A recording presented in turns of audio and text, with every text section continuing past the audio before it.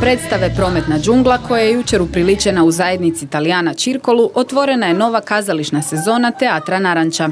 Radi se o edukativnoj predstavi o pravilima u prometu, namijenjenoj vrtičarcima i prvašićima koji po prvi puta samostalno stupaju u promet. Luka Juričić tumači Vladu Plavca, policajca sa zaduženjem da pripremi predavanje o prometu koje će održati najmlađim sudionicima. A obzirom da simpatični policajac ima veliki strah od publike, u pomoć mu priskaču njegova djeca Ana i Roko. Uz pjesmu i ples obitelj je prošla kroz osnove prometa, a brojna je publika spremno upijala sva pravila. Publika je bila super, akcije su bile super i publika je bila jako, jako dobra i ispunili su moje očekivanja, čak i više. A tremu pa nisam imala neku veliku tremu. Bila sam opuštena, ali opet bilo me malo strah da će neke stvari poći pokriva, ali na kraju je sve bilo u redu.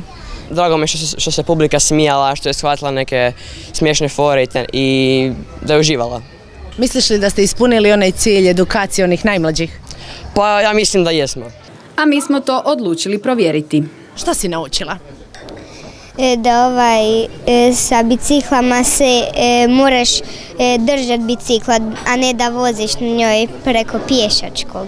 Roko je vozio biciklu na pješačkom prelazu, a mlada dama Ana je tipkala mobitel i vozila romobil. Jel se smije tipkat po mobitelu u prometu? Ne. Ti sve to znaš, jel tako? Da.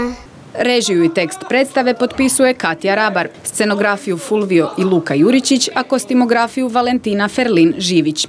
Predstava je nastala u suradnji s policijskom upravom Istarskom, a glumačkoj ekipi sada predstoji turneja po pulskim i istarskim vrtićima i školama.